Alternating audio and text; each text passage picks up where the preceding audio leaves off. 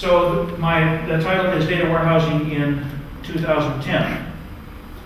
First of all, let's try to say in one sentence what is the purpose?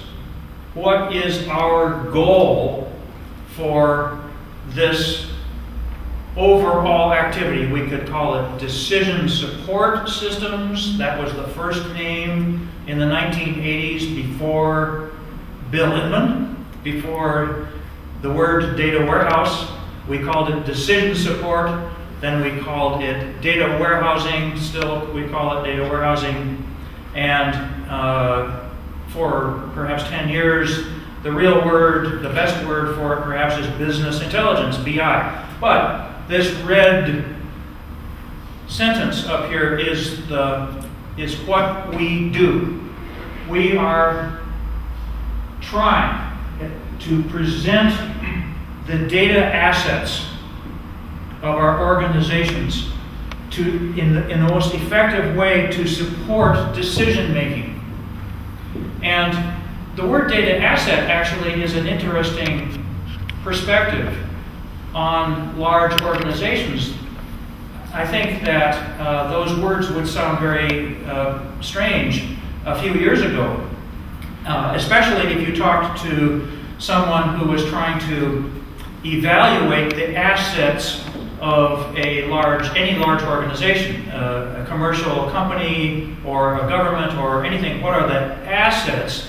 Well, the traditional assets have been very tangible assets, like the equipment and the land and the maybe the possibly the know-how or the or, the goodwill. But there's there, they were traditional things. But the, the the information content, the data, was uh, never really um, identified as an asset and certainly never valued in any understandable way as an asset. So, so that's the first perspective that I want to give you is, is um, the, the, there is much more realization that data itself is, is incredibly valuable. And so what kind of data is valuable? Um, especially data about your customers, about your citizens, about your processes for uh, the things that you do, uh, about the, um, uh, the information about what the behavior of, of these customers are and what you have done with, with them. Uh, and, and you, so that's obviously valuable. And, and there are some also some fairly obvious ways to, to value those assets. You can value them by saying, what would be the cost of creating those assets if, if they disappeared or if, I, if they were lost? Um, what would be the uh, value in terms of the revenue or the profit or the money that comes directly from these data assets? So th these numbers are huge and they're very tangible, and I think that management everywhere is very uh, much more aware of the value of data uh, of the data assets. So this becomes easier and easier as we go in, uh, through the years to convince people that they need to pay attention to their data and that they need the data. Uh, when I began in the 1970s, being very interested in this problem, um, you could not get people to say that they wanted data. They had no experience with data. So how did people plan the inventory? They walked down the aisle, and if the, the shelf was empty, they said, order more. That was the information decision making process.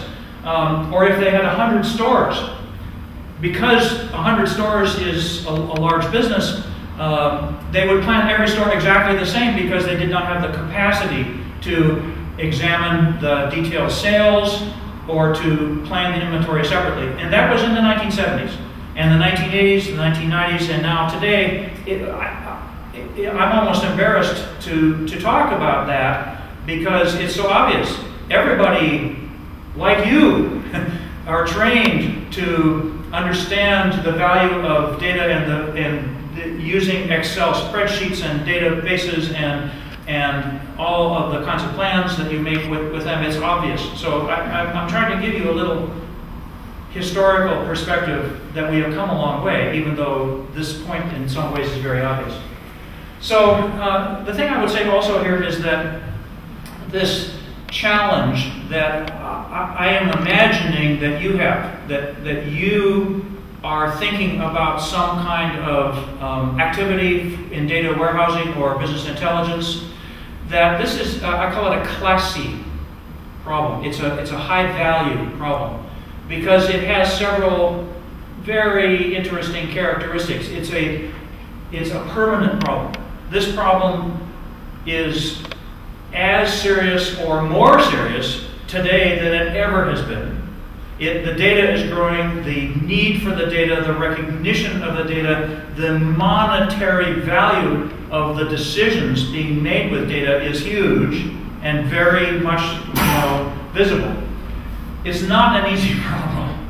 In fact, my, my challenge, I think, in this talk tonight is not to scare you away from data warehousing. I don't want you to leave the room and say, thank goodness, no more data warehouse. I don't want you to do that. I want you to say, oh, that sounds really interesting. That's something I would like to do. I hope I will do that. Now, I think to be happy as a data warehouse professional, as a business intelligence professional, you need to have three interests. If you only have two or one of these interests, you will not be happy in the long run. And all three are important at different times. First, you need to be interested in the business. You need to be, and I think you are. I mean, who you are here in this university perhaps tells me that this one is not a problem for you. You are interested in the business world. You're interested in how does a large organization work? How do they make decisions? I, you know, I, I love that kind of detail. Um, I find it fascinating to go to a very large company like Procter and Gamble or Coca-Cola or Bank of America or you know a, a big insurance company and say, how do you process your invoices? Literally. I mean, it's, I find that detail interesting. I find that process to be fascinating because you always learn something uh, intricate and complicated, and you get insight into these things. So, if that interests you, very good. That, that you need to be interested in that. If, if you're not at, at all interested, then, then maybe you don't like the data warehouse too much. Anyway, you also need to be pretty good with technology. You need not to be a computer scientist, not to be a big programmer, but I think you need to be a, I would say, a thoughtful observer. You need to be a sophisticated participant in the process of bringing this technology to the to, to the decision makers.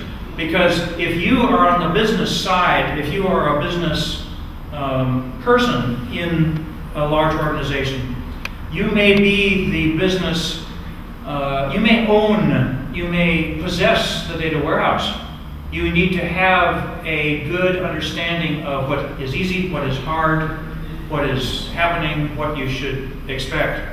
And, and, and so that's the, the and, and that means understanding the technology pretty significantly.